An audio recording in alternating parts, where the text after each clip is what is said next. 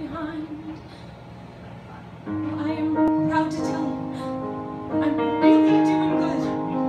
I'm doing so much better than you ever thought I would.